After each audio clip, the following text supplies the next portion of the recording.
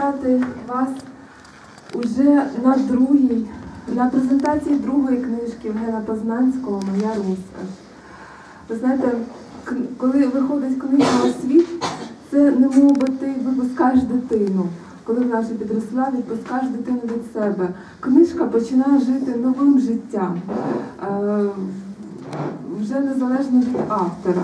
Її можуть цитувати, її якось е, поезії, там е, те, що є в книжці, е, якось інтерпретують люди по-своєму, читають, можливо, там пишуть вірші. То, тож це дуже визначна подія для поета, з якою ми найщиріше вітаємо Євгена. Дуже вдячні вам за те, що ви прийшли також привітати його з цією подією і познайомитися з тими творами, які увійшли в книгу.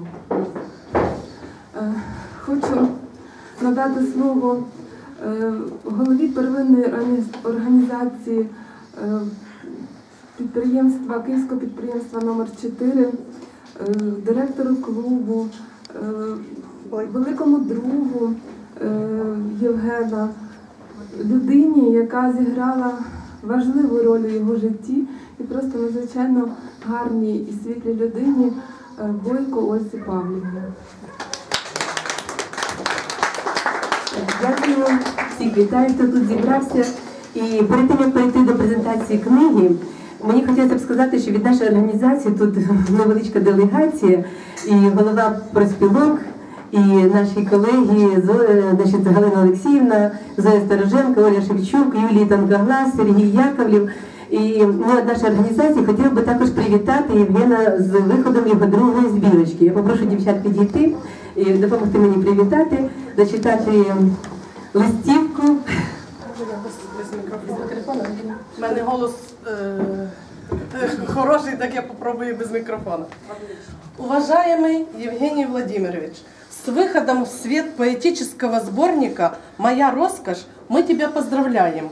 Успехов огромных в творчестве желаем. Пусть муза тебя окрыляет всегда, пусть будет благодатною судьба. Поэзия – это праздник души. Просто чудеса творишь, Евгений, ты. Читая твои стихи, к прекрасному прикасаешься и от всего плохого отвлекаешься. Желаем, чтобы дар, которым наделила тебя природа, приносил и тебе, и окружающим все больше новых замечательных стихов. Желаем тебе никогда не знать разочарований и огорчений. Будь всегда здоров, счастлив и любим.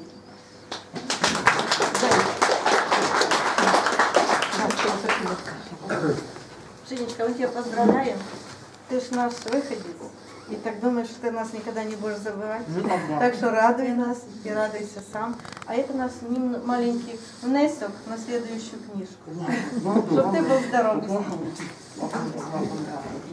Спасибо, спасибо.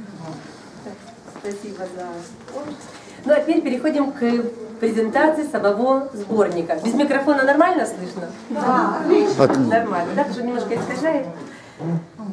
Я не пишу безупречных стихов. Честно слежу, чтобы в полном порядке был механизм стихотворных мехов. А все равно есть, увы, недостатки. Все же одно утверждать я могу. Жизнью своей могу поручиться, что не пишу бессердечных стихов. В каждой строке моей сердце частица. Именно такими словами автор начинает свой сборник. Он очень искренен, доверителен. И не зря э, автор предисловия назвала свое предисловие «Ода цельности» или «Роскошь доверительности». А написала предисловие известная поэтесса, э, член спілки, національної спілки письменників і Міжнародного клуба православних літераторів Виктория Осташ. Она также кандидат философских наук. Значит, проделав, э, изучив поэзию Евгения Познанского, проделав глубокий анализ его поэзии, она написала очень такое содержательное предисловие, с которым я советую всем вам обязательно самостоятельно ознакомиться. А я ну, остановлюсь только на последних, заключительных строчках предисловия. Читая стихи Евгения Познанского, понимаешь, что автору есть о чем рассказать своему современнику, есть чем поделиться с каждым из нас. И это не монолог всезнающего и выносящего приговор умника.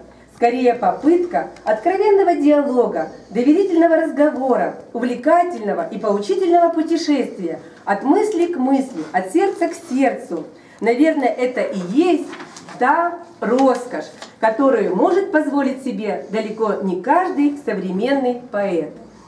Э, И Евгений э, очень признателен и благодарен Виктории Осташ не только за написанное ей предисловие, но и за очень важные, полезные советы при формировании и редактировании сборника. В начале сборника он также благодарит еще одного своего учителя э, в искусстве слова Геннадия Горового. Он обещал, но, к сожалению, не пришел. Есть, есть, да? Тогда он среди нас, и мы обязательно предоставляем ему слово. Пожалуйста, выходите сюда. Буде чутно. Так, я хоч і тихий голос маю, але тим не менше. Е, Дорогі друзі, ну, е, в принципі, я щасливий, що мене звела доля з такою людиною, як Женя, тому що е, навіть якщо на секундочку відійти від його творчості, а просто взяти його як е, людину. Е, Це надзвичайно цілісна людина і це прекрасна душа. Е, Це думки, це почуття.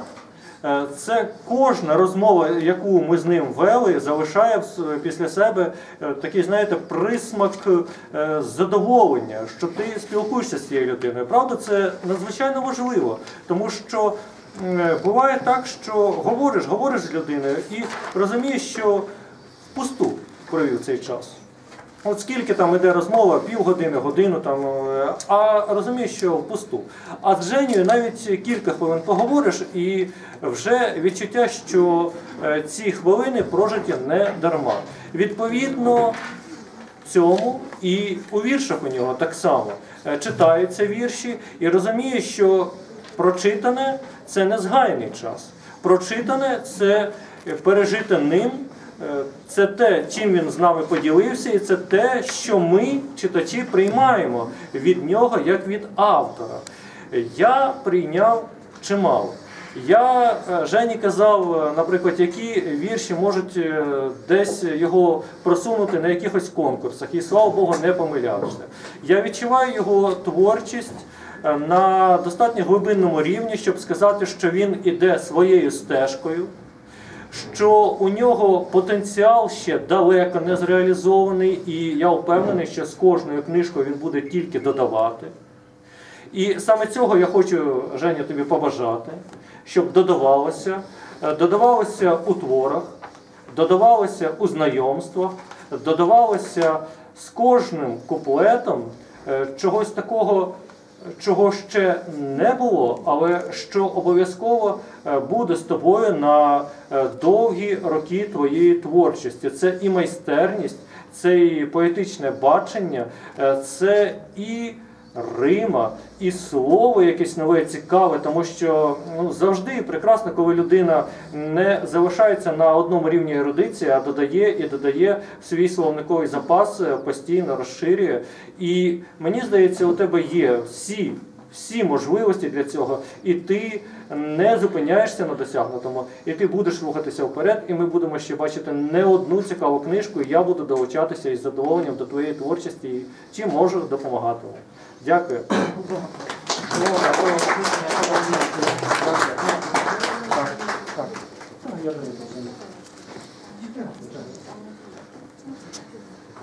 Ну, мы продолжим дальше знакомство со сборником. Сборник состоит из трех разделов. Первый из них из шкатулки Клио. Э, В него вошли э, баллады, э, описывающие события отечественной и мировой истории. И ошибается тот, кто думает, что это просто э, рифмо- зарифмованная, рифмованная история, так как автор сам по образованию историк. Конечно же, Евгений постарался максимально точно передать колорит эпох. Но давайте вдумаемся, разве события тех дней, э, подвиги героев, э, преступления злодеев, ну, как-то не напоминает нам сегодняшний день. И сейчас мы предлагаем вашему вниманию стихотворение «Запорожец» в исполнении Ольги Никитской.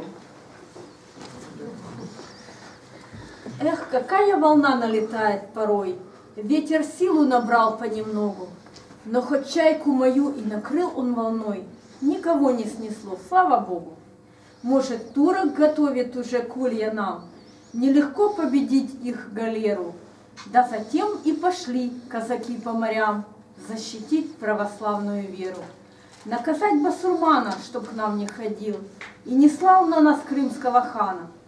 Старец в лавре мне маслом святым заживил От похода минувшего рано. Кто-то, может, добычу считает, притих, Предвкушает пиастры, цехины, А я знаю давно, из походов таких Не приходит назад половина. Может, голову скоро сложу я и сам, Но пускай и последним ударом Одного хоть от турка пошлю я к чертям. Значит, вышел в поход я недаром. И никто, никогда, уходя на моря, Возвратиться обратно не ведал. Но за веру Христову умру пусть и я. Это тоже ведь будет победа. Я не знаю, когда он придет, смертный час. Потому-то я такой и веселый. Не оставь, Пресвятая Владычица, нас. Не оставь нас, Святитель Микола.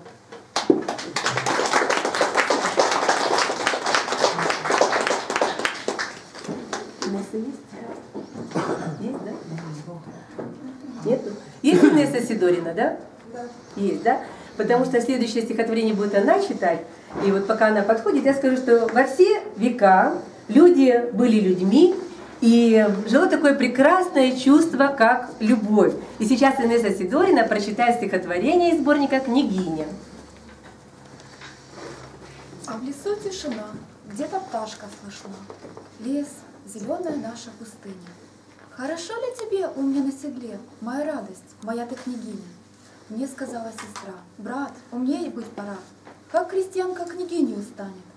Но напомнил я ей, как рукой ты своей клала травы к моей страшной ране. Мне мой дядя твердит, роду нашему стыд, взять девчонку простую из леса. Что, жениться нельзя, как другие князья? Есть за морем такая принцесса. Да, он жизнь повидал и добра мне желал, Хоть меня попрекал, ох, как горько. Но как ты нежной быть и так кротко любить, Ни одна не сумеет царевна. Все бояре, сердясь, обижаешь наш князь, Ставишь черную девку в княгине? Нам, ее госпожой? Или женись на другой? Или сам уходи с ней в пустыне? Хоть природный я князь, но уйду не чинясь. Дорог княжеский стол. Ну что же, лучше власть потерять, чем собой помыкать, позволять бессердечным вельможам. Пусть престол мой берут, пусть друг друга грызут, за него пусть сражаются тяжко. В этой чаще лесной ты жить будешь со мной, моя звездочка ты, моя пташка.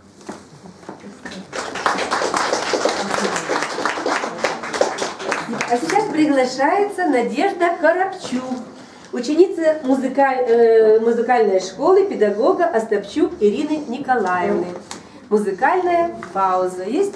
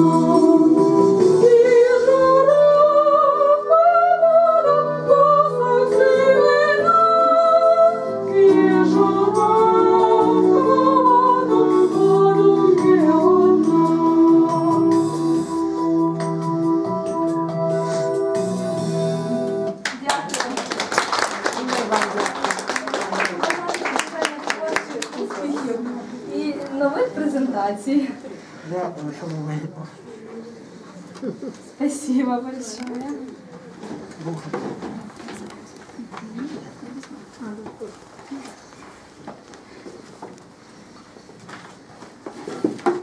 Недаром говорят, что вся культура Европы уходит своими корнями в древнюю Грецию. Предлагаем вашему вниманию еще одно стихотворение из первого раздела «Жена Факиона», которое прочитает Зоя Марьяна. Староженко. Сначала скажу вам, что Факион – это Факион черный, ча- честный политик и полководец Афинской республики IV века до Рождества Христова. Жена Факиона сказала приехавшей из Ионии гости, которая с гордостью показывала ей золотые, усыпанные драгоценными камнями ожерелья и диадемы, а мое украшение – это Факион. Я знаю, что ты хочешь показать, моя подруга. Серьги, вот браслет, вот ожерелье вижу, жемчуга, вот перстень. Ах, какой сапфироцвет! Они горят, как солнце, как огонь. В шкатулку их кладешь, приятный звон. Такого у меня, конечно, нет, но у меня зато есть факион. Пусть много есть еще в стране вождей, которым доверяется народ, но от чужих враждебных нам царей лишь Факион мой взяток не берет. С трибуны черни только он не льстит, учить народ неблагодарный труд, но потому в Афинах лишь его, как сговорившись, честным его зовут. Когда ведет он армию поход, он не спешит с врагом затеять бой. Не имя, а людей он бережет. Живыми он приводит их домой. Я выхожу, на мне браслетов нет, но люди расступаются кругом. Все знают, что супруг мой, Факион, не осквернил продажностью свой дом. Пусть демагоги наряжают жен, их золото грязнее, чем навоз. Пусть у меня таких сокровищ нет, об этом и в душе не лью я слез. Пусть золото на вас и жемчуга, но будь у вас хоть царская корона, но Факион есть только у меня, и у него нет другой жены у Факиона. Молодец, спасибо. Ну, а продолжит знакомство с первым разделом, разделом истории, Марина Потеляхина, заведующая отделом обслуживания Центральной би- библиотеки Островского. Знаєте, я хотіла б кілька слів ще сказати про Жені вірші. От е, що мені дуже в них подобається, що вони ніби актуалізують нам історію або персоналі, які е, історичних персоналій, про яких ми, можливо, навіть і не знаємо, не знали раніше. Ось, наприклад, ще не прочитаний вірш про Фекіона. Е, Або скажіть мені, будь ласка, хто ще не читав цієї збірки, хто такий Ерістотель? Це, е, це е, е, публіцист, оратор, який впливав на думки тогочасних діячів. Жив він у е, 4-3 столітті до, нашої ери, але в нього був такий ніби дефект мови. Він сам не промовляв свої промови, але він мав величезний вплив на думки інших діячів відомих. От. А я почитаю вірш, який не війшов у цю збірку. Він один із найновіших. І думаю, що він е, започаткує наступну, вже третю збірку Євгена. Він називається Последні скіфи. Перед ним така ремарка. Недавно э, в Гималаях было обнаружено ранее э, неизвестное племя. Ученые считают, что это прямые потомки древних скифов, практично избежавшие смешения с другими народа- народами э, из газетного сообщения. Здесь нет дали степей, на горах снег годами не тает. Хоть индийское солнце и льет на них света поток, Гималайские горы долину стеной окружают, как курганы из камня, которые создал сам Бог. В чаше, чаше этой долины народ с голубыми глазами, светлую с кожей светлою, белою, в шапках кудрей золотых. Точно тело свое побелили красавцы снегами, точно солнце лучи в шевелюрах оставило их. Пусть истории путь много круче, чем горные тропы, но со времени древних героев, преданий и мифов в Гималайских горах здесь за тысячи миль от Европы сохранился остаток народа великого, скифов. Здесь не дали степей, здесь из камня до неба курганы. Братья пращуров очень давно разошлись по земле. Кто умчался на юг покорять жаркий край Индостана, кто на запад в Днепровские степи, э, жить вечно в седле. Как сложилась судьба их? Народ гималайский не знает, что сейчас на планете, какой у соседей здесь век. Гребни гор точно стены, надежно их там защищают. А еще доблесть скифов и честь, что чиста точно снег. Может, нужно и нам может, нужно нам всем в своем сердце построить долину. И пускай, вопреки всему миру, в ней вечно живет точно скифы в горах, столь немодная в нашу годину доблесть предка и истины вечной, бессмертный народ. Только, только воля была так тверда, как хребты Гималаев, и была чистая совесть, как снег, что не тает века.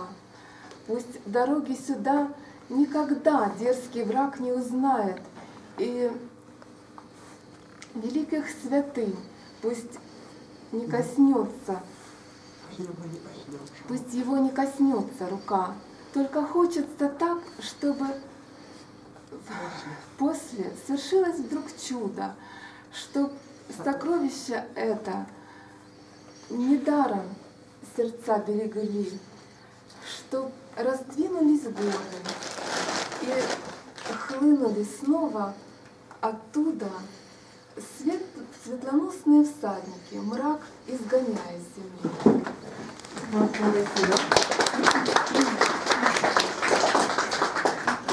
Переходим мы ко второму разделу книги, который называется «Селеви». Такова жизнь.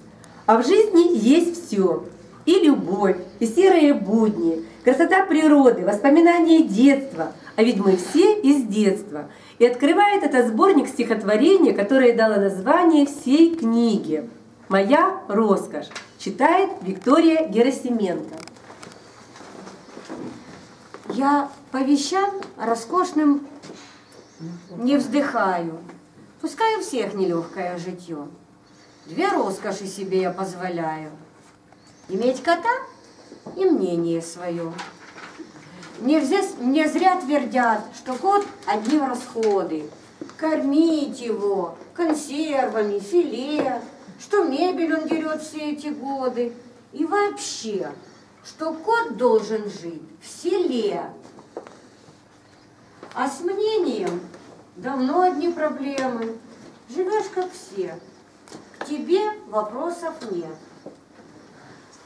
Пусть хоть жизнь сплошная для дискуссий тема, все знают телевизор и сосед. А если ты свои имеешь взгляды, то будешь сам порой. Ты им не рад. Ведь взрос, ведь гордым назовут, не скрыв досады, как будто ты и вправду виноват. Но я не гордый, я всего лишь мыслю.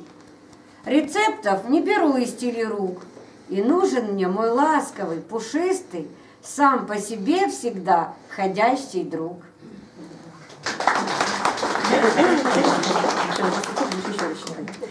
Итак, мы, как сказал классик, мы все из детства. И Евгений, э, автор сборника, э, очень благодарен в первую очередь своим родителям, о чем он пишет в начале книги. Ведь именно они вели его в прекрасный мир поэзии. Они были его первыми слушателями и нелицеприятными критиками. Очень жаль, что сегодня по состоянию здоровья они не могут быть здесь с нами, но я больше чем уверена, что мыслями они все здесь. Они переживают и радуются за своего сына. И давайте от всех нас поблагодарим их с аплодисментами и низкие поклоны за воспитание такое хорошее их сына. Ну, а продолжит знакомство со вторым разделом Виктория Герасименко, и она прочитает еще одно стихотворение «Кошкин дом». Из коробки, от какой-то штуки, от какой неважно, ерунда. Сделал папа золотые руки. Настоящий домик для кота. Домик – прелесть. Крыша на два ската, два кошка дружно ловят свет. В этом доме все наши котята продремали много теплых лет. Незаметно годы проход... пролетали, Три десятка их уже прошло, и котов двоих мы потеряли, и хозяин болен тяжело. От суровых, грустных, взрослых будней спрятаться в такой вот кошкин дом, где все мило, просто и нетрудно с добрым, все умеющим отцом.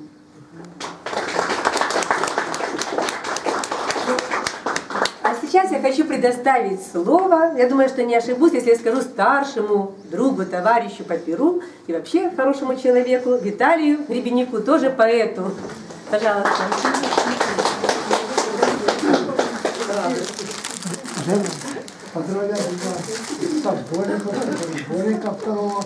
Э, И скажу людям, что я Женю мало знаю, но когда я читаю его статьи, стихи, это очень э, грамотный человек, особенно история. История в смысле вложен в стих, но его надо понимать, э, вообще этот стих, ну вот как он писал в последнем промени, благовещение. Но я не знаю, я увижу читать. А его почитай тоже. Не, ну что я увижу, сейчас посмотрю. Если увижу, то почитаю.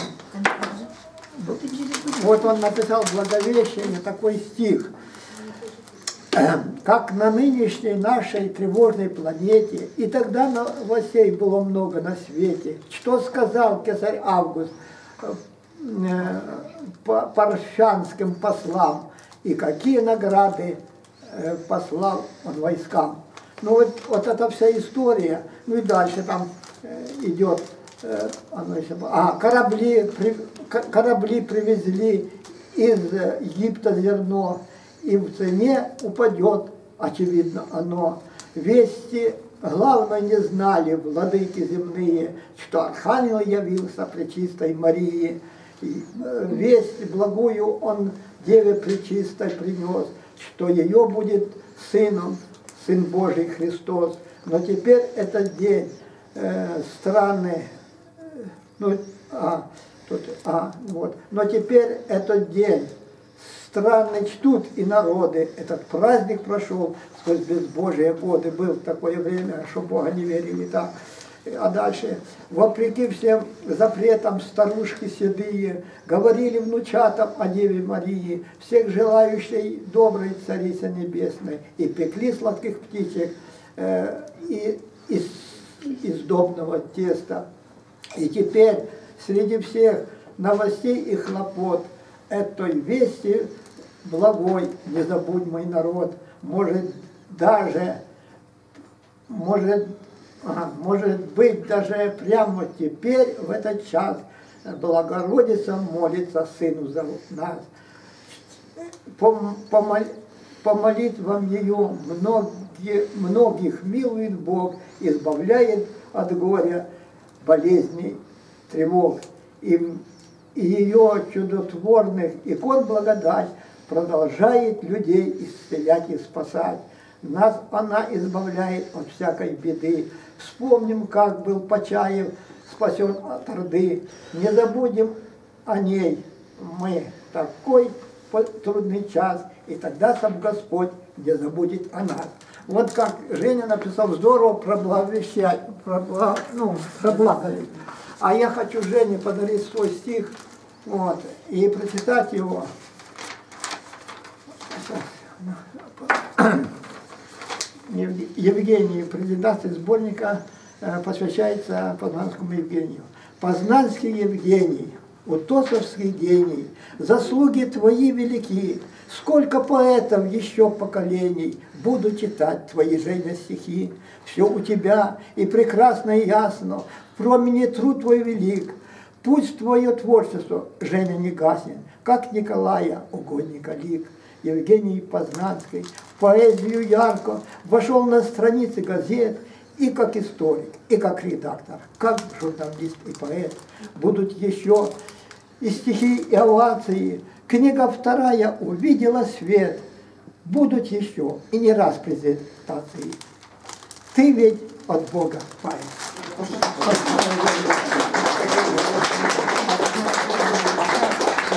Молодец, Виталий. Спасибо. Ну и мы говорили, что этот раздел «Селяви такова жизнь». И нашему автору тоже ничто человеческое не чуждо, так же, как не чуждо чувство любви. И мы предлагаем еще одно лирическое стихотворение «Наглотались губы поцелуев», которое прочитает Виктория Герасименко. Наглотались губы поцелуи, даже страсть насытилась пока. Только отпустить никак не может плеч твоих теперь моя рука. И пускай, пока утихли ласки, Ты себя вот-вот укроешь сном, нежность у меня не засыпает. Вот она, в касании моем. И без, и без звука, без единой ноты, в тишине полночной темноты, все, что есть теперь во мне живого, говорит, как мне нужна вся ты. Говорят и руки, вот, объятия до сих пор никак не разомкнул. Взгляд, который в темно-синем мраке все ж твою находит белизну.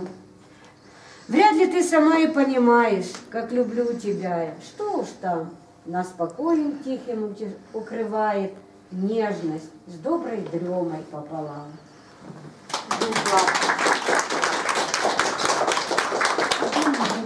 Сегодня у нас из присутствующих гостей здесь практически очень много поэтов. Я хочу предоставить сейчас слово еще одной поэтессе, гости, которая приехала с Обухова. Это Людмила Машталер. Е, Завжди ви вже мене звикли бачити в супроводі моїх друзів, але я зате кучу привітів принесла. Розпочну ось з чого. Коли зателефонував до мене е, Євген і е, запросив на презентацію книжки, а я питаю, а яка її назва? Ну, моя розкіш. Я кажу, о, розкішний мужчина, розкішна людина. Він каже, ні, це не матеріальні розкоші. А я кажу, так і я ж про те. Я ось хочу зараз розповісти про одну із розкошів Євгенових. А станеться це, ця розповідь, е, ну, це ось у нас стосується е, такої події, яка відбулася цієї зими. Нас запросив Володимир Борисович Петровський на вечір пам'яті героїв Крутів, ну, присвячений героям Крутів. Е, І він проходив у, е, як називається цей будинок, будинок фонд культурний України, Золотий фонд України. І там ви всі знаєте, що є е, в фоє отакі дуже круті східці, які не мають ні перил. Е, І ось е, після того, що там сталося, виник такий вірш. Не сидиться удома. Знов стежина знайома привела нас до стольного граду. Маєм настрій чудовий, лється тиха розмова.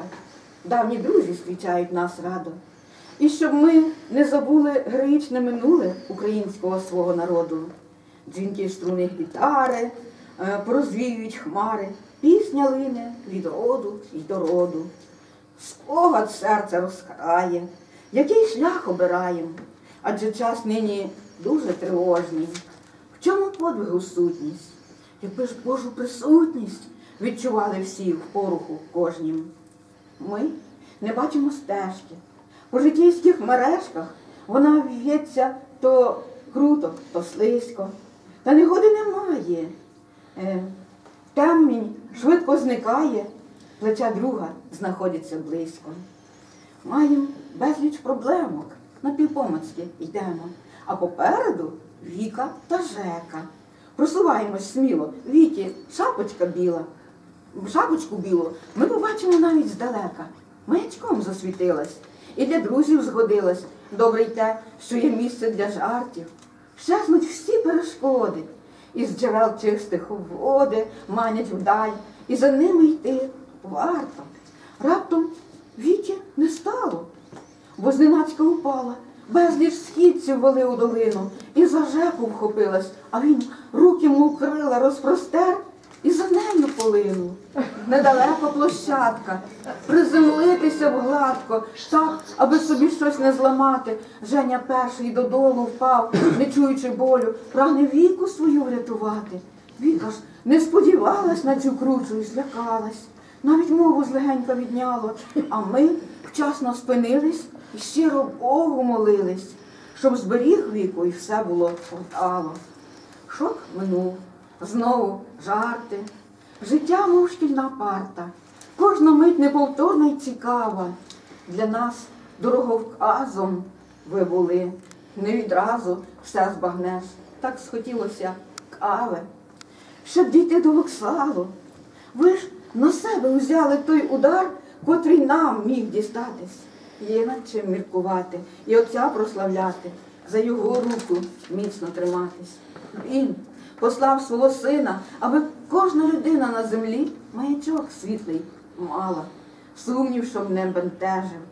Серед безлічі стежок вірний шлях у житті обирала. Оце прозвучало привітом від наших е, е, світличан, моїх друзів. І в мене ще є один цікавий привіт. Е, Я ж тісно спілкуюся із своїми друзями, сопілкарями із Кам'янця-Подільського. І ось троє із них, знаючи, куди я прямую, і знаючи по газетних е, замітках е, Євгенія Познанського, кажуть, ти обов'язково передай йому привіт. І привіт особливий, бо ми як троє зберемося, такий Володя Луцик, це слоник, е, Слава Гжебінська, це зайчик, ну і я, білочка. Ой, ми збираємося, всі озвереність готові, і ми так проводили цікаво час. І вони кажуть, ти обов'язково, білочко, десь нас шибай горішків і передай їм. От що я і зроблю. Але це ще не все. Я не можу зупинитися на тому, щоб від себе привіт не передати. І ось потерпіть, трошки два стовпчика по дорозі вони набігли. Я їх зараз зачитаю. Римовані слова зібрались разом, і книжечка віршів побачить світ. Єдина неповторна диво фраза, палкий шле шанувальникам привіт. Весняний вечір, трошечки морозний, зігріє душі вдячних читачів. І є над чим задуматись серйозно. Рясних творчих бажаємо дощів. Лёва, Людочка, молодец. Людочка, молодец. Продолжает наш творческий вечер Евгения Познанского Виктория Герасименко. И сейчас музыкальная пауза. приснится Я хочу войти в твой сон И надеюсь, будет длиться бесконечно он. Потому что днем и ночью о тебе судьбу молю. Потому что очень-очень я тебя люблю. Капелькой дождя к тебе в окно постучу, к тебе в окно постучу, к тебе в окно постучу. Птицей перелетною к тебе прилечу, навек с тобою я быть хочу. Белая снежинка я в ладонь упаду, тебе в ладонь упаду, тебе в ладонь упаду. Звездочку на небе для тебя я найду, дыханием ночи в твои двери войду. Стильное радио.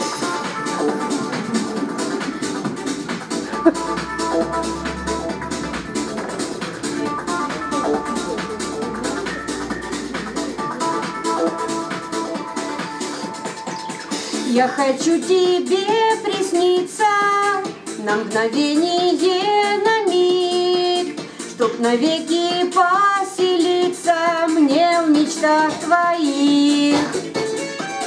Может, этот сон однажды повторится наяву, Станет былью сказка наша,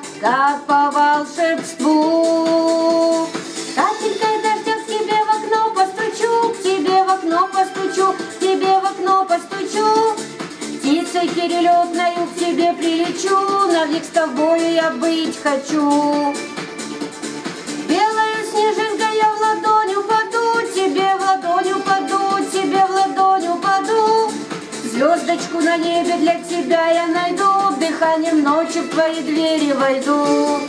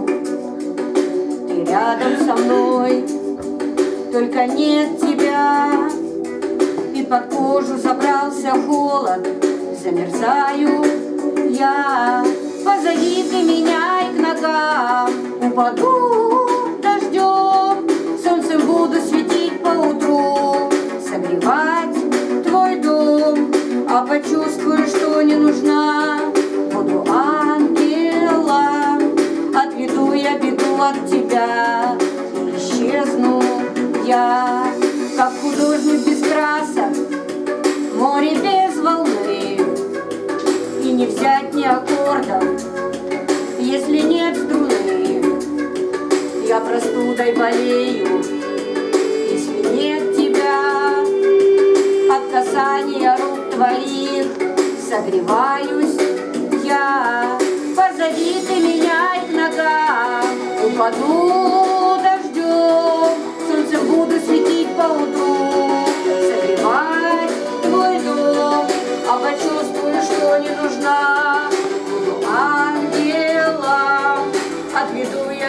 от тебя,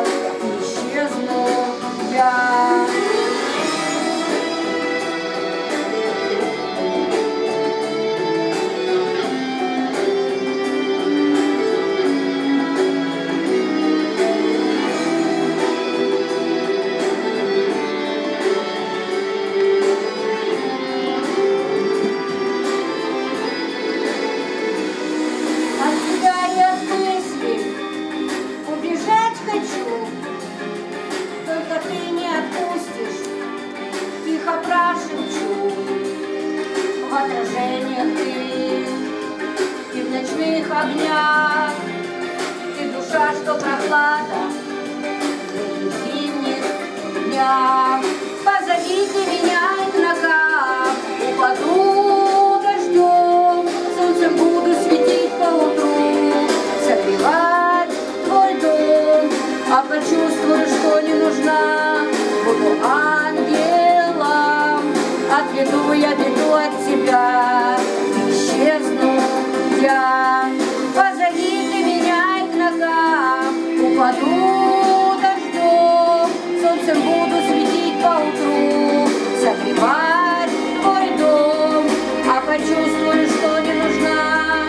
буду ангелом, отведу я беду от тебя, и исчезну я.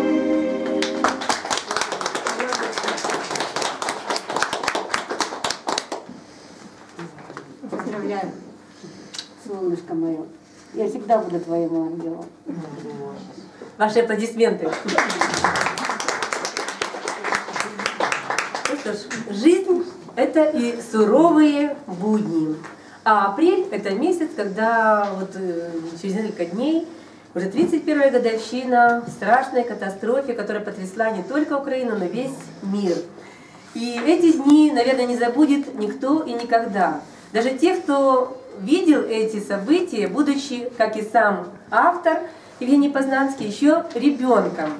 Но Чернобыль – это не только горе, смерть, но еще и мужество.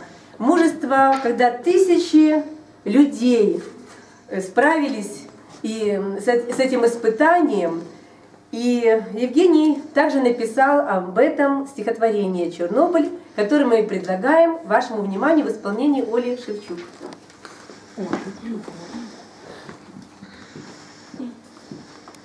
Морщит губки малыш, не по вкусу вино, но сказали, котеночек надо, только ложечку, пусть там прижет все оно. Радиация ведь хуже яда. Это все тетя Настя, немолкнущий рот, с перепугу совсем ошалела. Говорит, через год Киев весь перемрет и, конечно же, учит, что делать. Хоть прекрасные дни, никуда не ходить, даже днем закрывать плотно шторы. И чтоб детский желудок прижечь, защитить, в день давать мне пол ложечки когора. То ли дело отец, не боится один, в нем какая-то добрая сила. Может, просто его, как всех истых мужчин, та опасность напротив взбодрила? Пережили ж войну и сейчас проживем. Паникерства вот только не надо. Взрыв, да что говорить, постоянно о нем учинили диверсию гады. И спокойствием он заражал всех кругом. Открывалась закрытая штора. Все умел он тогда успокоить весь дом и меня защитить от Кагора. Ну а сейчас снова музыкальная пауза, и я с удовольствием приглашаю на эту сцену дуэт Мэца в составе Ирины Демяновой и Ольги Сэмы.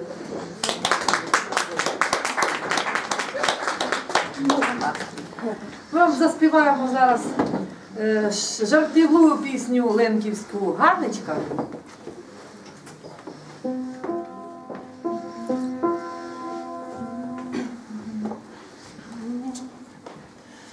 Дам я яловицю, дам я яловицю і цілого коня. Жеби моя доня, жеби моя доня не сиділа вдома. Розмарія, як лилія не біла розквітала. Гей, наша Аничка, леза, яничка бися подавала. Виняла перечко, виняла перечко, дала шугайови. Наробила жалю, наробила жалю йому Яничкові. Розмарія, як лилія не біла розквітала. Гей, наша Аничка, левза, Яничка бися подавала. Яничку, Яничку, Яничку, Яничку, повіч мі на віру. Цимя возьмеш сині, цимя возьмеш сині, як я зостарію. Розмарія, як лилія на біла розквітала. Гей, наша Аничка, левза, Яничка бися подавала. Наша Аничка, левза, Яничка. Ну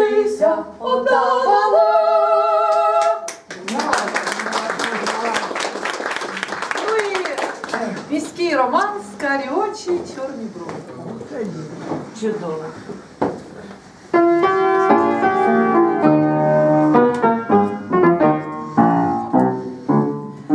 Карі очі, чорні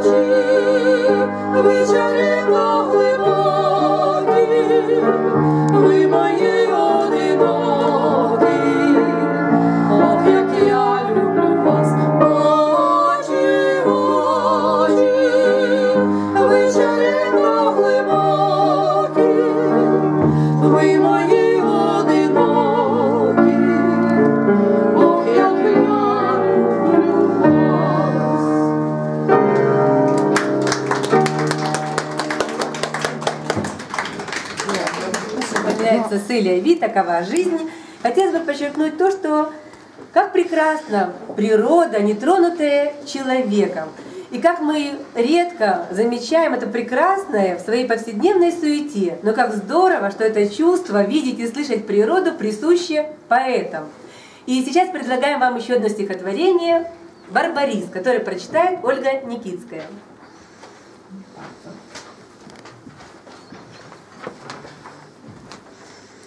Он хватает зеленой ручонкой точно пальцы ребенка листва. Очень мелкие крошки листочки гладят край моего рукава. И, качнувшись от резких движений, красно-розовых ягод букет дунул прямо в лицо чем-то сладким и похожим на запах конфет. Как конфет? Так и есть. Понимаю. Барбарис, да ведь это же он. Вот уж я, горожанин в квадрате, чаще нюхаю гарь и бетон.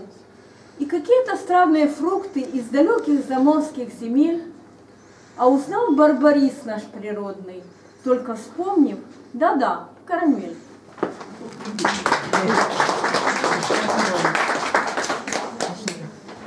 Ну, предоставить слово нашим гостям с творческих инициатив, э, значит, руководителю Елене Анатольевне Василенко и пришла Анна Стоян, это музыка, э, руководитель э, кружка, да? Есть музыкальный кружок творческих инициативах. Вот. И они хотели тоже что-то сказать и сыграть, да?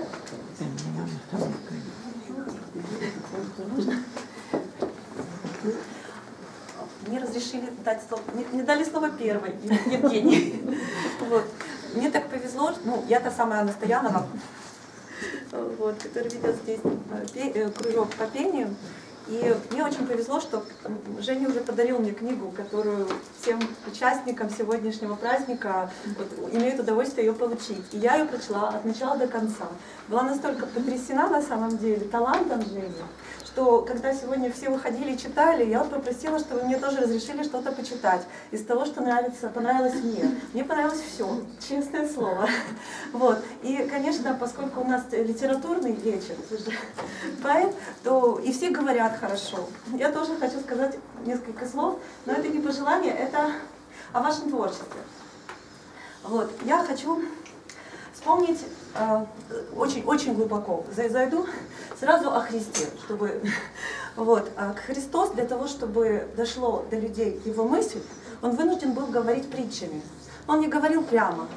И вот когда я читала ваши стихи, я была потрясена. Во-первых, простоте языка, который вы выражали очень глубокую мысль, которая заложена в каждом стихе. И э, я хочу прочитать стих «Истина». Когда-то с одним, разговаривая с одним священником, я узнала, что истина э, на самом деле это залог, который клали в банк, основа. Вот, а на нее что нарастали проценты. Вот, это тоже очень интересно. Но здесь, конечно, стих не о банках, не о залогах, а о истинах духовных. И вот, с вашего разрешения, я прочту этот стих. Сонет. Вот говорят, что только в жарком споре родиться может истина на свет. Но чаще спор словесный пустоцвет, и редко он дает начало ссоре. Там только, где амбиций вовсе нет, и чистой любознательности море, там истина мелькает порой след, в таком лишь идеальном разговоре. Нет, прежде чем вступать в словесный бой, безжалостно поспорь ты сам с собой. Проверь себя, где есть ошибка, в чем нет. Эм, А в чем? Представь, что собеседник скажет твой, и спор не станет перепалкой той, где каждый остается при своем. Спасибо. Еще можно?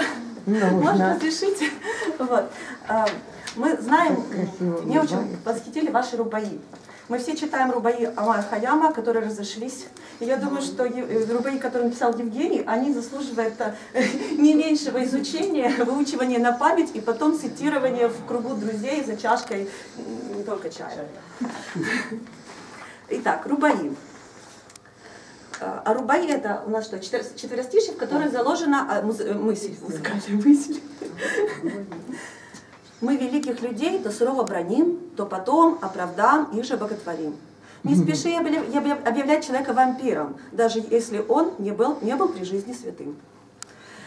Хоть, второй.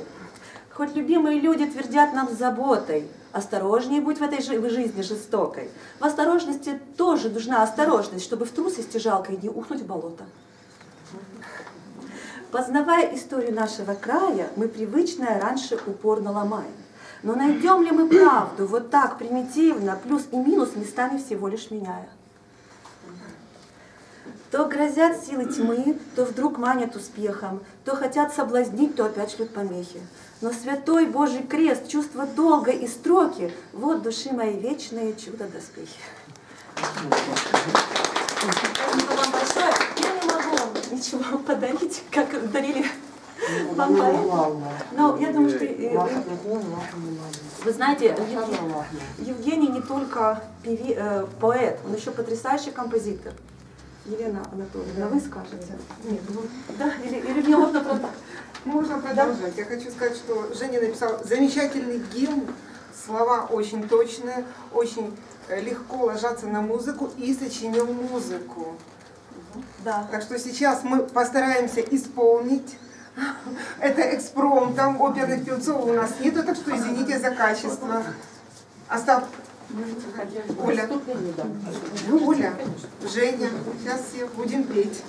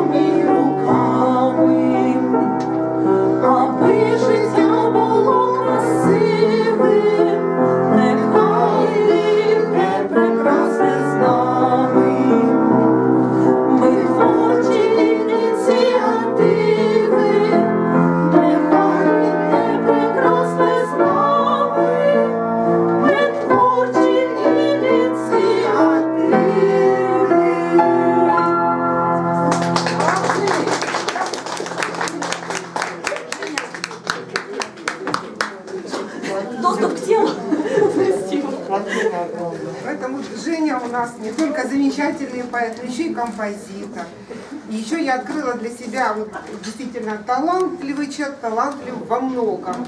Э, Женю как э, живописца. У нас было два занятия по объемной живописи, и Женя нарисовал замечательные картины, ну, которые у нее находятся, на работе, да? Да.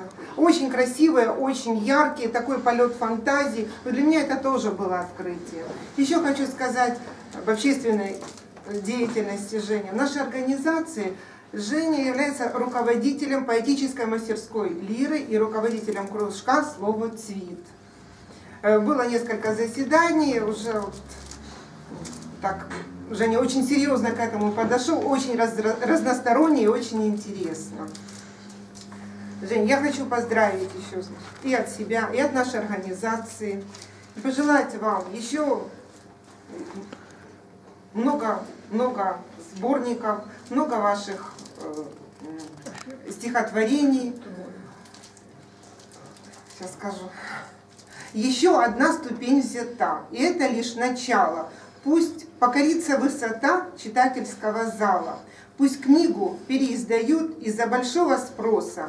Пусть э, за автографом бегут и задают вопросы, которые послужат вам подспорьем книги новой. Пусть будет авторским словам э, доверие основой. Читателей почетный круг виватом пусть встречает. Ну а еще надежный друг, который вдохновляет. И даю вам икону и желаю, чтобы ангел-хранитель всегда был за вашими плечами. Спасибо вам. А сейчас я с удовольствием хочу предоставить слово еще одному почетному гостю. Это председатель парламента працездатных инвалидов, громадская организация Петровский Владимир Борисович. Женя, мені приємно дуже сьогодні бути на твоїй презентації книги, презентації взагалі твоєї творчості. Знаєш, е, багато дуже сьогодні тобі говорили слів, багато побажань. Я хотів би повернутися до одного дуже важливого, я думаю, для тебе і для всіх вірша. Це про твою власну думку. Не тільки про кота, але й про думку. Ти знаєш, е, це не лише здорово, це важливо. Важливо, тому що зараз дуже складно живеться всім тим, хто має свою думку.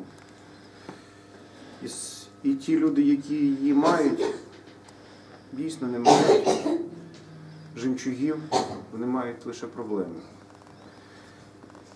Не боятися і вміти висловлювати її це в наш час надзвичайно великий подвиг. Інколи, коли читаєш ці вірші, то приходять думки, що ти конкретно намальовані люди, про яких можна бачити по телевізору або чути. Я дуже радий ще й тому, що в твоїх віршах дуже багато історій, мені це дуже близько. Е, Саме на історії, якщо ми знаємо історію, то тоді ми будуємо країну. Якщо ми не знаємо історії, то тоді ми маємо ту країну, яку, на, жаль, на сьогоднішній день маємо ми всі сьогодні. Ще зрозуміло, що дуже важлива річ в твоєму житті це те, що не лише поезія, а і твій журналістський талант, який далеко є не у всіх. Багато хто пише статті, але далеко не всі вміють висловити чітко, зрозуміло і майже не допрацьовуючи твори, які ти пишеш. Я хотів би побажати, щоб той твій талант, який у тебе є, і в творчості поезії, і, в жур... і твій журналістський талант, і, напевно, той історичний потяг, який в тебе також живе, це все ті грані твого таланту, які є. Щоб цей талант у тебе розвивався колись, коли багато років назад ти прийшов перший раз на е, наш фестиваль Неспокій серця і з першого разу став одним із його переможців.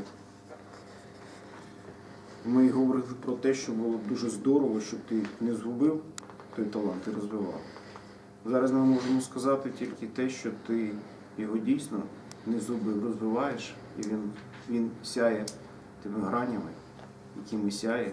І я тобі бажаю, щоб він і далі розвивався, ти радував всіх нас своєю творчістю, своїх талантів. Я дякую тобі за ту діяльність, яку ти проводиш не лише для себе, а ти проводиш для суспільства, для нашого, для нашої країни.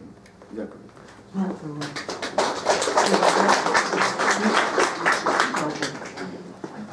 Дякую тобі. Дякую. Спасибо.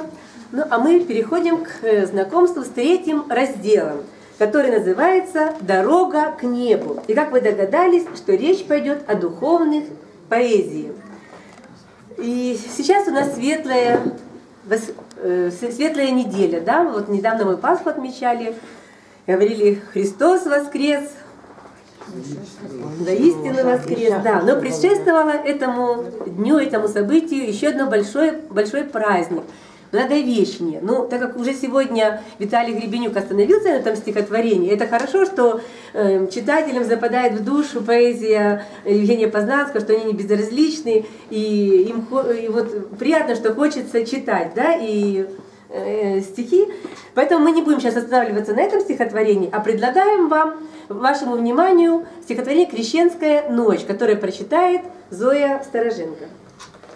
Перед тим, як зачитати цього вірша, я хочу дуже щиро подякувати Євгену за те, що він вже не перший раз запрошує нас читати його вірші. Женечки, я тобі дуже вдячна за те, що ти дозволяєш нам їх е, читати вголос перед народом, перед людьми, доносити твою думку і оці прекрасні вірші, щоб чули і знали е, люди. І я так думаю, що маючи на руках оці твої книжечки, вони не залишаться в нас просто на полки чи в сумці, чи ще десь. А ми будемо читати і далі своїм друзям, своїм близьким, дітям, родичам і так далі. Так що велике тобі, велика тобі подяка за це. Дякую, Женечка. Я, я все-таки думаю, що буде правильніше, якщо я благовіщеніше прочитаю. Це дуже гарний вірш, і він дуже тематичний в наші ці дні. І я вам його ще зачитаю. Добре? Как на нынешней нашей тревожной планете и тогда новостей было много на свете. Что сказал кесарь Август парфянским послам? И какие награды послал он войскам? Корабли привезли из Египта зерно, и в цене упадет, очевидно, оно. Вести главной не знали владыки земные, что архангел явился при чистой Марии. Весть благую он деве пречистой принес, что ее будет сыном Сын Божий Христос. Но теперь этот день страны чтут и народы. Этот праздник прошел сквозь безбожие годы. Вопреки всем запретам старушки седые, говорили внучатам о Деве Марии, всех жалеющей, доброй Царице Небесной, и пекли сладких птичек из добного теста. И теперь среди всех новостей и хлопот этой вести благой не забудь, мой народ. Может быть, даже прямо теперь, в этот час, Богородица молится Сыну за нас. По молитвам ее многих милует Бог, избавляет от горя, болезней, тревог. И ее чудотворных икон благодать продолжает людей исцелять и спасать. Нас она избавляет от, всяк, от всякой беды.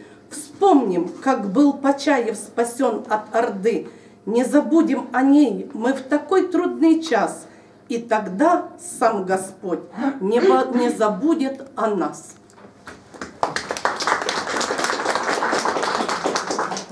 я дуже перейнялася оцим віршем. І Я вам просто хочу сказати, що я дуже часто піднімаю тост за мрії. І оцей вірш впав мені в саме серце. Крещенская легенда. Вот и высыпали звезды поискриться. В эту ночь неполной стала темнота. Каждый должен в этот вечер помолиться, чтоб сбылась его заветная мечта. Учат предки нас, встать в полночь не ленитесь, в ночь крещенскую едва ли не раз за год. Твердь небесная открыта, так молитесь, и молитва точно к Господу дойдет. Только выбрать нужно главное желание и молиться, чтоб исполнилось оно. Если молитесь без всяких колебаний, все, что попросите, все будет вам дано. Верю я, всегда услышит нас Спаситель. Не бывает небо твердым точно лед. И у каждого есть ангел, свой хранитель. Он всегда повсюду с нами, круглый год. Но молюсь, И взгляд свой снова окунаю В волны неба, в прорубь зимней темноты. Где там правда, где легенда, я не знаю. Только верю, слышишь, Господи, нас Ты. Молодец. Дуже дякую. Кстати, в этой жизни, наверное, нет ничего случайного, все по воле Божьей, да? И я сейчас хочу предоставить слово еще одной почетной гости, замечательной женщине, прекрасной поэтессе, и она еще является крестной мамой Евгения Познанского, это Валентина Врублевская.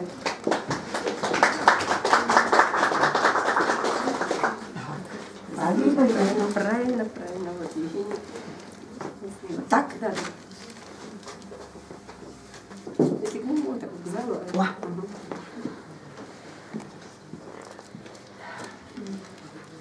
Я, конечно, очень волнуюсь. Сегодня очень солнечный, красивый и светлый праздник. Сегодня родилась на свет, як кажуть, поетична дитина. Это книжечка Женина.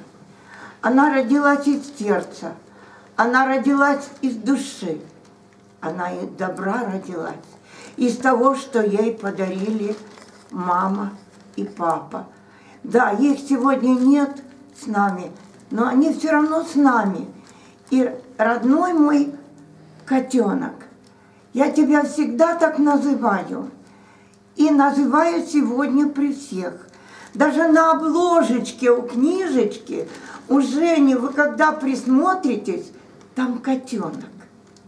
Потому что он нежный, добрый, светлый, вся его чистая, открытая душа, понимаете, праздник у него сегодня таланта, святости и глубины, и доброты души и сердца. Я горжусь тобой, Женя, всегда.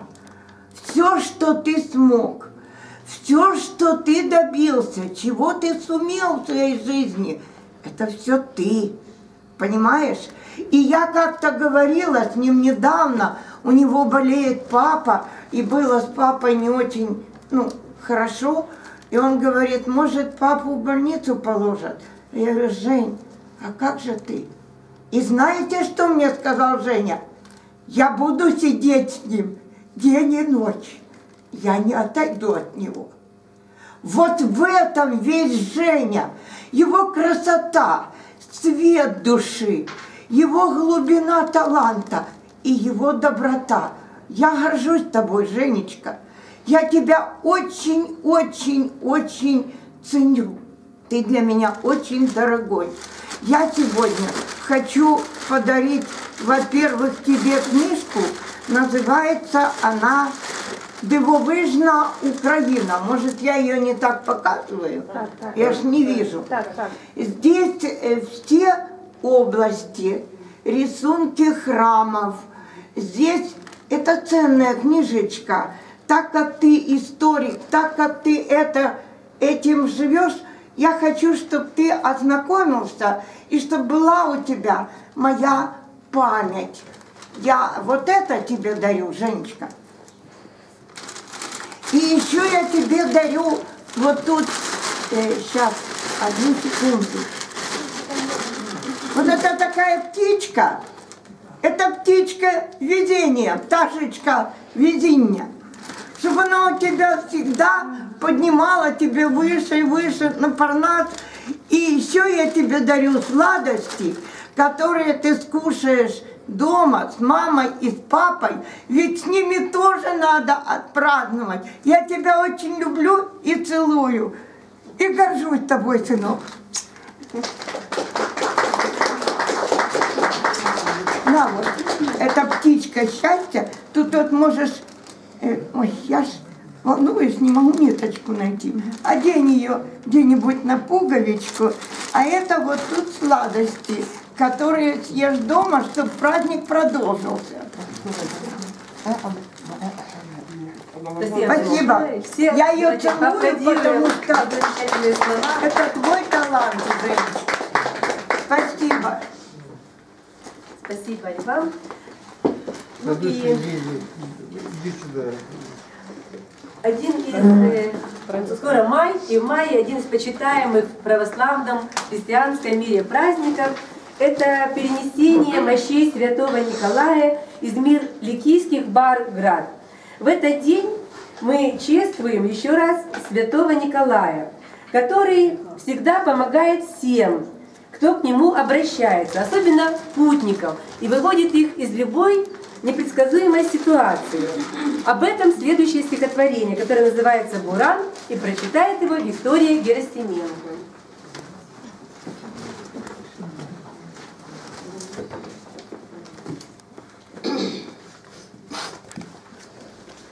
Ветер острый, как нож, и снегов океан. Нет страшнее степи, чем в декабрьский буран. Темнота, темнота, и снега, и снега, Лошадиная даже завязнет нога. И не могут никак путь к деревне найти. Старый возчик с сынишкою лет десяти. Сани стали в снегу, конь измучен в конец. Ночевать будем тут, только охнул отец. Мальчик жмется к отцу, ветер грозный, силен, И как будто не снег он несет уж, а сон. Батя, а холода вроде уже как и нет. Задремавший отец дать не может ответ. Но как будто сквозь иней, покрывший ресницы, видит мальчик вдали, что-то стало светиться. И идет по снегам, свет лучом золотым. Старичок бородатый предстал перед ним. В волосах седина, мягкий свет от лица. Встань, сынок, пробудись, буди живо отца, так сказал ему дед, вместе ласков и строг. Но морозную дребу прогнать он не смог. Снова крикнул старик через пару минут. Встань, отца разбуди, чтоб не сгинуть вам тут. Пробудись, неразумное чадо мое, вас помиловал Бог, тут есть рядом жилье.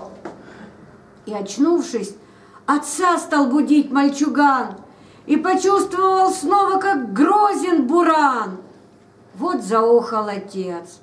Ох и лютый мороз! Но нежданно залаял поблизости пес.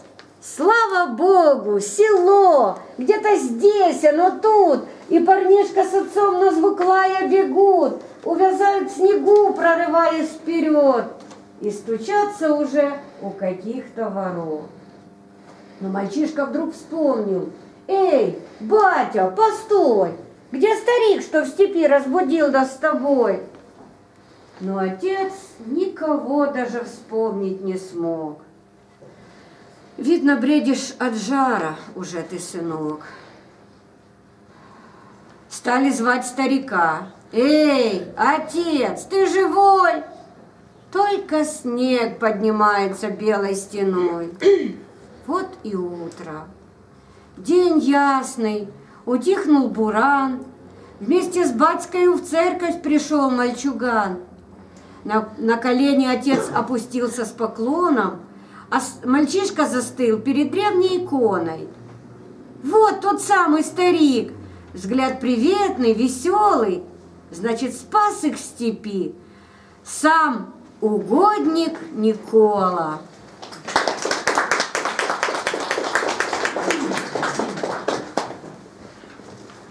А закончить знакомство с третьим разделом «Дорога в небо» мы хотели бы молитвой о мужестве, которую прочитает Инесса Сидорина. Сейчас, когда ужаса ветры точно растут из земли, Боже, великий мой Боже, мужество мне не спошли. Пусть оно душу мне входит, мрак разрезая лучом, щупальца страха разрубит, пусть оно светлым мечом. Мужество нужно нам всюду, в жизни тревожной, земной. Нужно, когда угрожает злой человек клеветой. Нужно, когда угрожает жизни тяжелый недуг. Нужно, когда изменяет самый любимый наш друг. Нужно, когда угрожает родине яростный враг. Нужно, чтобы все-таки сделать долгом предписанный шаг. Мужество нужно, чтобы твердо вынести глупости смех. Если покажется даже, что ты один против всех. Мужество нужно, чтобы быть и к самому себе строже. Мужество мне не спошли. Боже, великий мой Боже.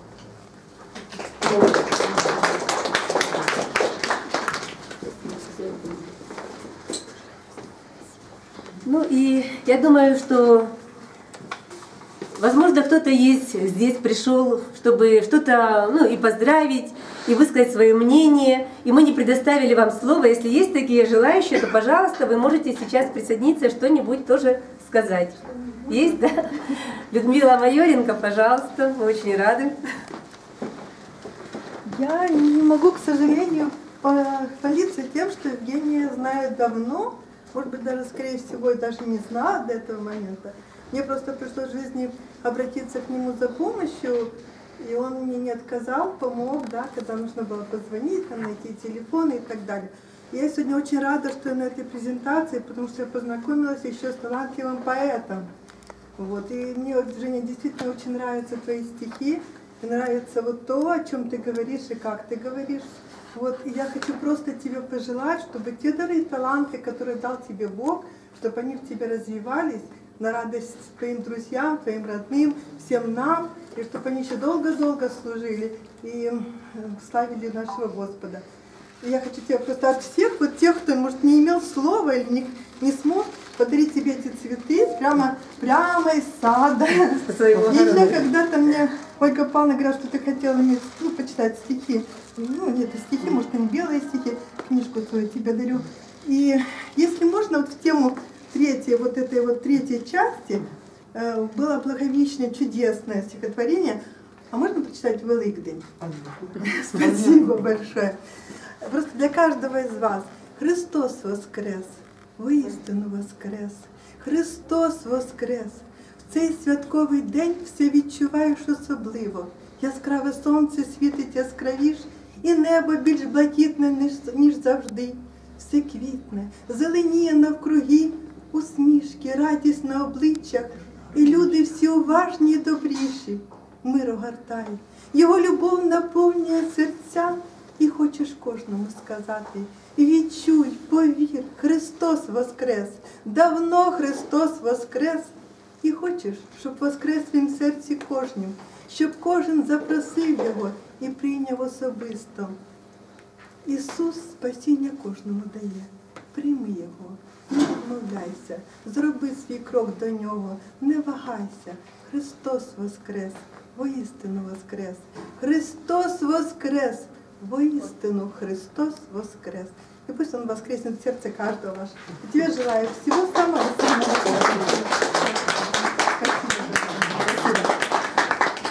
Может быть, еще кто-то желает высказаться? Нет, да? Тогда я думаю, что ну, мы не смеем задерживать дольше ваше внимание.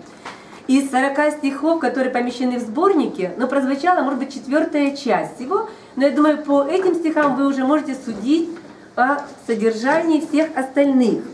Но завершить знакомство со сборником хотелось бы стихотворением «Бессмертие», которое Виктория Осташ определила как центральное. Всем известно, что народ бессмертен. Знают все, любовь всегда жива. Я внести посмею коррективы в эти очень мудрые слова. Нет, увы, народы не бессмертны. Скифы где? А где Великий Рим? Прогремев, умчались в неизвестность, уступив дорогу всем другим. А любовь? Она что, тоже смертна?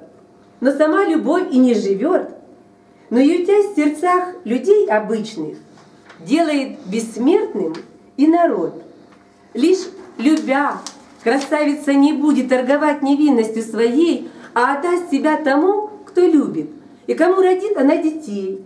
Лишь любя свою родную землю и детей, и в целом весь народ, позабыв о самосохранении, добровольно в бой солдат пойдет.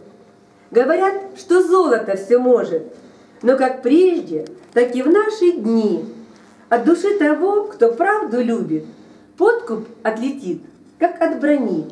Украину лишь любовь разбудит, даст поэтам лучшие слова.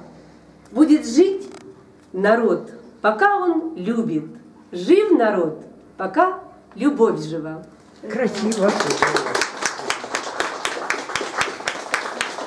Ну и сейчас, я думаю, надо предоставить слово самому автору Евгению Познанскому. Пожалуйста, микрофон тебе.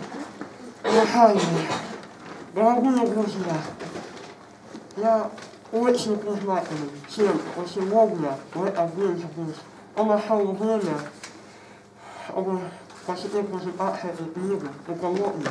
Благодарим, как я уже говорил, мероприятия, замечательной поэзии Ури Оскар и блистательному поэту современности Зимагу Горовому.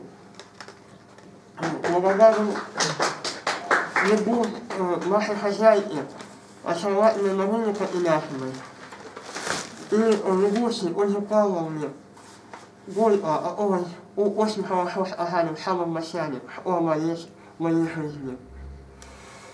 Благодарим э, замечательным поэтам Олегом Аршем, э, головой Грошной, Валентине Дмитриевне Гуглевской и я Виталию Семеновичу Гордоняку. Благодарим моим Олегам и друзьям по творческим инициативам, э, руководителю нашему Елене Анатольевне, Василенко, очаровательной Анне Аямовой, э, друзьям моим Ашапову, Сергею Яковлеву, замечательным исполнителям моих стихов моя особенная признательность. Потому что, ну, сами слышите, как я говорю, большие волнуюсь. А ведь стихи мои донесли о, а донесли вот такие замечательные, талантливые люди, а Виктория Герасименко, Инесса Сибоева, Ольга Никитская, Ольга Шевчук, Зоя Марьяновна Сарахенко, и, вот, и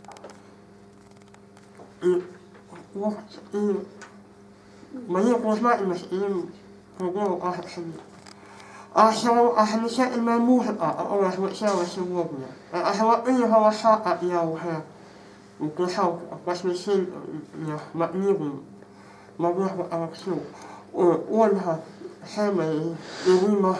Надежды Алексею, Ольга Сема и Ирина Демьянова. Извините, я очень волнуюсь, я говорю очень несвязно. Женя, ты очень хорошо говоришь. Несвязно, ну, Ты прекрасно говоришь. Единственное, я могу сказать, что все лучшее, знаете, как сказал когда еще великий Гораций о своем творчестве, лучшая половина моя избежит похорон. Ну, избегу, переживу мои стихи меня или нет, знает Бог. Может, может быть, читатели и влюбленные. Но действительно лучшее, что было во мне, я вложил в эту книгу и как можно признательным тем, кто пришел сегодня на встречу с ней. И еще раз позволю себе прочитать те слова, которыми открывалась книга и презентация. И то же сам. Я не пишу безупречно стихов. Да, я смешу, чтобы в полном порядке был механизм стихотворных мехов, но все равно есть, увы, недостатки. Он одно, утверждать я, могу жизнью своей могу поручиться, что не пишу безупречных стихов. Адрес этой моей сердце частица. Помни, кстати,